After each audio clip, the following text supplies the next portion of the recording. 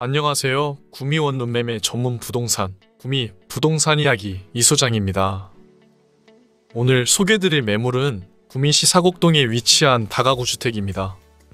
영상에서처럼 4차선 대로변 바로 뒤편에 위치하고 있고 아파트 단지가 있어 상권 또한 보장되어 있습니다. 2021년에 외관, 내부 전호실, 리뉴얼 공사를 마친 상태고요. 전호실 만실로 원활하게 운영 중입니다. 본 건물은 경부고속도로 남구미 IC에 인접해 있으며 대구권 광역철도 예정인 사곡역도 있습니다. 사곡역이 개통 시 대구권과 경제 활성화 등 동반 성장이 이뤄질 것으로 보여 이에 따른 효과도 기대됩니다.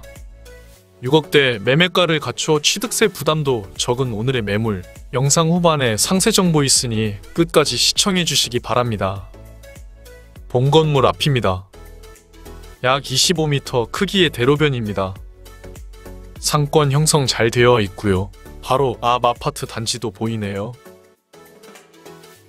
본 매물로 가는 중입니다.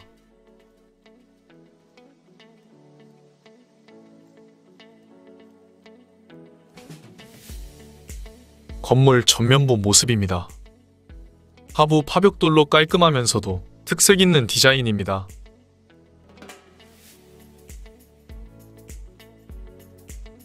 주차장입니다.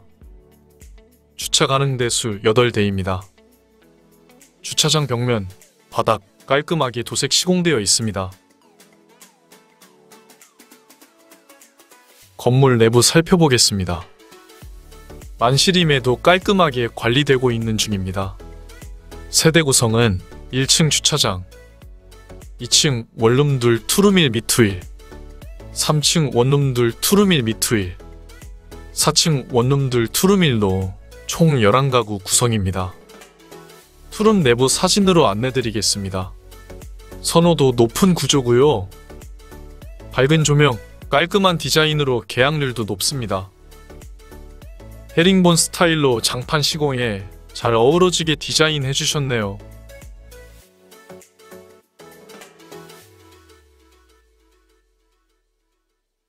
옥상입니다. 매물 상세 내역 안내해 드리겠습니다.